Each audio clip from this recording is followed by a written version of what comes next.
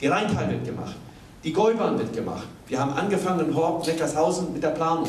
Und wir fangen auch hier mit der Südbahn an. Die Elektrifizierung ist eine Voraussetzung für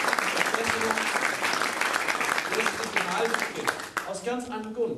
Sie wollen doch wohl nicht abgekoppelt werden in Zukunft, weil der neue Bahnhof ist richtigerweise ökologisch ausgebaut. Das heißt, eine Diesellokomotive darf da gar nicht hineinfahren.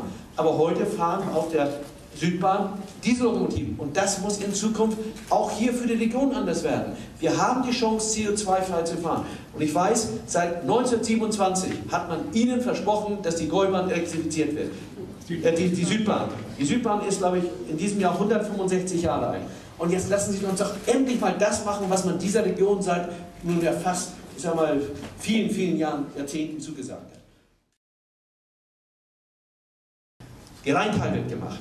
Die Gäubahn wird gemacht. Wir haben angefangen in Horb, Neckarshausen mit der Planung.